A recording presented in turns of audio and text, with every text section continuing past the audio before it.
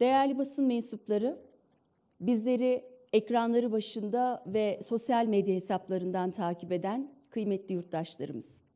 Şahsım devletine göre Türkiye yüzyılındayız. Ulaşımdan sağlığa, eğitimden enerjiye, teknolojiden turizme büyük düşünüyor, büyük oynuyoruz. Evet, Türkiye yüzyılına şahsım devletinin penceresinden bakarsak, onların onların yaşadığı evrende her şey güllük gülistanlık. Oysa milletin gerçeği bambaşka. Çalışma hayatında yaşanan hukuksuzluklar, yasaklar, keyfilikler, insan yaşamı yerine sermayenin çıkarına odaklanan ve üretimi değil de tüketimi önceleyen politikalar nedeniyle emek rejimi bugün derin bir krizdedir. Ekonomik krizin alım gücünden yarattığı büyük aşınma milyonlarca işçiyi, emekliyi, memuru eziyor. Yaşam umudunu tüketiyor. Büyük Önder Gazi Mustafa Kemal Atatürk emperyalizme karşı milli mücadele ateşini yakmak üzere Samsun'a çıktığında ülkenin o günlerde içinde bulunduğu durumu ulus yorgun ve yoksul bir durumda diyerek anlatıyordu. Ne yazık ki o günden bugüne yani tam 105 yıl sonra yine aynı noktadayız. Emperyalist odaklarla yandaş, garanti döviz ödemelerinden beslenen faiz baronlarıyla candaş, cemaat ve tarikatlarla yoldaş olan şahsım devletinin inşa ettiği hibrit rejimle bugün milletimiz fakru zaruret içinde harap ve bitap düşmüştür. Karşımızdaki tablo Cumhuriyet'in temel değerleriyle kavgalı olanların demokrasiyi amaç değil, araç olarak görenlerin, aydınlanmadan değil, orta çağın bağnaz karanlığından beslenenlerin eseridir. Türkiye'nin dört bir tarafında mutsuzluğun ve umutsuzluğun kök saldığı, geleceksiz, gelecek, geleceksizliğin milyonlarca yurttaşımızı esir aldığı, öğrencinin, emeklinin, kamu görevlisinin, beyaz ve mavi yakalı çalışanın, kadın ve gencin yani emeğiyle geçinmeye çalışan herkesi sefalette ortaklaştıran en karanlık günleri hep birlikte yaşıyoruz. İnsanlarımızın ekonomik anlamda zorlukla boğuşması geleceğe dair umutlarını azaltıyor ve toplumdaki genel memnuniyetsizliği de her geçen gün artırıyor. Değerli basın mensupları, Cumhuriyet Halk Partisi şahsım devletinin siyasal keyfiliğiyle her geçen gün derinleşen adaletsizliğin ve eşitsizliğin farkında. Yurttaşlarımızın içinde itildiği kör karanlığa karşı sessiz kalmamız elbette ki mümkün değil. Ülkemizde eşitlik, özgürlük, toplumsal refahın hakça bölüşümü için önüne geçilemez bir değişim talebi yükselmektedir. 31 Mart'ta değişim talebinin güçlü bir yansıması olarak milletimiz Cumhuriyet Halk Partisi'ni bir umut olarak gördüğünü açıkça ilan etmiş, güçlü desteğini sandığa yansıtmış ve sorunların çözümünün altı oktu olduğunu beyan etmiştir. Cumhuriyet Halk Partisi bu talebin bayrak taşıyıcısı olarak geniş halk kitlelerine ezilen, hor görülen, ötekileştirilen, mağdur edilen kim varsa sahip çıkmaya kararlıdır. Bu sorumluluklar uzun yıllardır budanan ve giderek hibrit bir otoriter rejime dönüşen demokrasiyi yeniden canlandırabilmek için iktidarın yanlışlarını dile getireceğiz. Bugüne kadar düzenlediğimiz milli eğitim, emekli, çay üreticileri, buğday üreticileri mitingleriyle toplum adına denetleme, uyarma ve itiraz mekanizmasını kararlılıkla yürüttük. Şimdi de emek kenti Gebze'de milyonların ortaklaştığı geçinemiyoruz feryadına ses olacağız. Örneğin asgari ücretle geçinemeyenlerin sesi olacağız. 2024'ün başında asgari ücrete yapılan yüzde 49 zamla Alman Hans'ı kıskandırmışlardı. Peki sonra ne oldu? Yılın ilk 5 ayında yüzde 75'i aşan enflasyon nedeniyle hayat her geçen gün pahalılaştı ama Hasan'ın asgari maaşı aynı kaldı. Hans Hasan'ı kıskana dursun, Hasan'ın alım gücü o tarihten bugüne yaklaşık 3900 lira eridi. Şahsım devleti oralı olmadı. Hasan'ın sofrasından 425 adet ekmek, 11 kilo kıyma, 24 kilo pirinç, 30 kilo tavuk etini eksik etti. Elbette bugün açlık endeksine tabi 6,5 milyon asgari ücretlinin hiçe sayılan yaşam hakkı için onların sesi olacağız. Ve bir gerçek var ki yıllardır süre gelen şatafat, israf ve yolsuzluk ekonomisi seçim ekonomisiyle birleşince ortada kalan bir diğer kesimde dar gelirler oldu. Sadece bir örnek vereyim. 2024'ün ilk 3 ayında toplam kredi kartı borcu 1.4 trilyon lirayı aştı. Bu rakam 2023'ün sonunda 1.1 trilyon liraydı. Yani 3 ayda, dakikada 1.7 milyon lira borçlandık. Bu borcu bu maaşlarla döndürebilmek mümkün mü? Elbette ki değil. Doğal olarak takibe düşen kredi kartları patladı ve 2023'ün ilk 3 ayında 11.7 milyar lira olan takipteki kredi kartı borçları 2024'ün ilk 3 ayında %120 arttı. Buna karşılık dar gelirlinin emekçinin ücreti sabit kaldı. Dolayısıyla henüz doğmamış çocuğa kadar borçlanan her bir dar gelirlerin sesi de, nefesi de, çaresi de biz olacağız.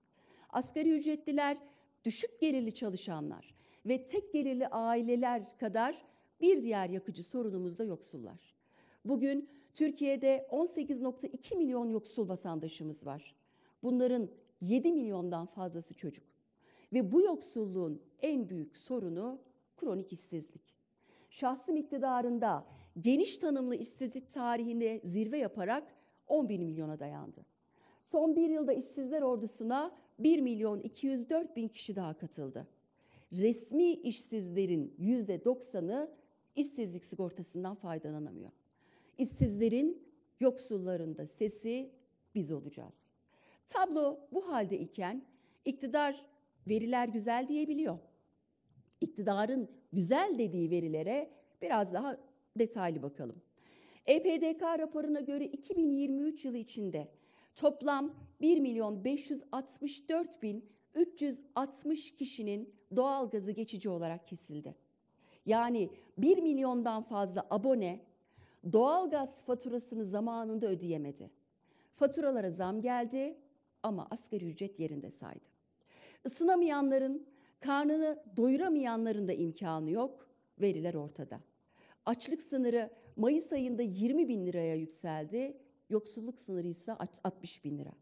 Yılın ilk 5 aylık döneminde açlık sınırı 3443, yoksulluk sınırı 12368 lira arttı. Yoksulluk sınırı son bir yılda 28.201 liralık artış kaydetti. Asgari ücret değişmedi. Bildiğiniz üzere kamuda tasarruf talep tedbirleri yayınlandı. İtibardan tasarruf etmeyenlerin aklının ucundan geçirmeyen şahsım devleti emeğin, emekçinin alın terine göz dikti. Sarayın uçakları var, yetmez kiralanan uçak ve helikopterler olsun. 2024'ün ilk 5 ayında hava araçlarına devletin ödediği kira bedeli 1 milyar lirayı geçti. Bu rakam 2023'ün ilk 5 ayında %58 oranında arttı, asgari ücret sabit kaldı. Şahsım devletine egemen olan şatafat ve ihtişamın göstergesi olan temsil ve ağırlama giderleri 2024'ün ilk 5 ayında 1.3 milyar lirayı aştı. Yani 76 bin 452 asgari ücret tutarındaki bir bedel keyfi olarak harcandı. Temsil ve ağırlama için harcanan tutar yılın ilk ayından bugüne %169 arttı ama asgari ücret artmadı. Artan hayat pahalılığı öğrencilerin yaşamını da zorlaştırdı. Gençler ulaşım, yemek, yol, kira giderleri için çalışmak zorunda kalıyorlar. Öğrenciler için barınmanın yanı sıra beslenme bile hayal olurken şahsım devleti yine tercihleriyle bizi yanıtmadı. Bütçeden taşıt kiralarını aktardığı pay bu yılın başından itibaren yüzde 64 arttı. Şahsım devleti beslenemeyen öğrencilere el uzatmak yerine çorba dağıtan CHP'li belediyelerle uğraştı. Sağlık sisteminde randevu alamadığımız, alabilirsek çalışacak, çalışacak doktor bulamadığımız, bulabilirsek ileri tetkikler için aylarca sıra beklediğimiz şehir hastaneleri bütçedeki en büyük kara delik olmaya devam ediyor. Yılın ilk dört ayında kamu özel işbirliğiyle yapılan şehir hastaniyetleri için harcanan para, Sağlık Bakanlığı'nın toplam harcamalarının içinde yüzde 16'ya ulaştı. 10 bin liradan 9.8 milyon emekli aylığına denk geliyor. İktidarın geride kalan 22 yılda piyasacı bir anlayışla, emek karşıtı politikalarla tahkim ettiği sosyal güvenlik sistemi bugün sadece ekonomik ömrünü doldurmakla kalmamış, aynı zamanda siyasi, ahlaki, vicdani bakımdan da iflas etmiş ve sürdürülemez bir noktaya gelmiştir. 16 milyon emeklinin bugün içine itildiği sefalet düzeni açıkça ortadadır. Tabiri caizse davul zurna ile iktidarın ilan ettiği, tam sayfalarla emeklileri müjdelediği 3 bin lira bayram ikramiyesi artık sadece sadaka statüsünde. Elbette sadaka değil, hakkımızı istiyoruz diyen emeklilerimizin de sesi biz olacağız. Değerli basın mensupları, devletin müjdelerden sorumlu kabine bakanı, Çalışma ve Sosyal Güvenlik Bakanı Vedat Işıkhan dün asgari ücrete zam yok, emekliye de refah payı verilmeyecek yönünde bir açıklama yaptı. İktidarın bu yöndeki ısrarlı iradesinin elbette ki siyasi bir bedeli olacaktır. Ancak şunu vurgulamam gerekiyor ki güçlü devletin temelinde mutlu bir toplum vardır.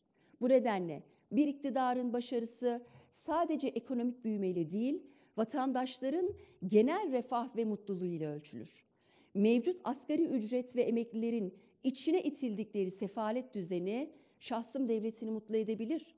Ancak Birleşmiş Milletler'in her yıl yayınladığı Dünya Mutluluk Raporu'na göre gelir düzeyi, sosyal destek, sağlıklı yaşam süresi, özgürlükler, yolsuzluk algısı gibi unsurlardan yola ülkelerin mutluluğunu ortaya koyan iktidarın başarısı da ortadadır.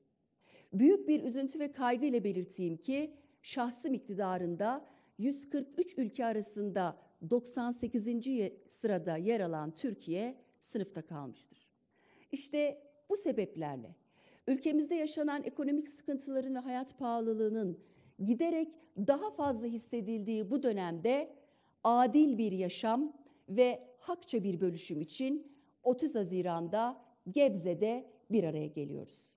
Geçinemiyoruz mitinginde asgari ücretle yaşam mücadelesi verenlerin, hayat pahalılığının ağır yükünü taşıyanların ve yıllardır emek verip karşılığını alamayan tüm yurttaşlarımızı bu atanamayan öğretmenlerimizi devletin her kademesinde mülakat mağduru olan kağıt toplayan emekçilerimizi ne eğitimde ne istihdamda olan gençlerin istihdamdan dışlanan kadınların güvencesiz çalıştırılanların mesemlerde emeği sömürülenlerin sesine ses olacağız. Tüm duyarlı yurttaşlarımızı ve geçinemiyoruz diyen herkesi 30 Haziran'da Gebze'de bizimle birlikte olmaya, seslerimizi hep birlikte yükseltmeye davet ediyoruz. Teşekkür ederim. Var mıdır bir soru bir şey? Peki kolay gelsin.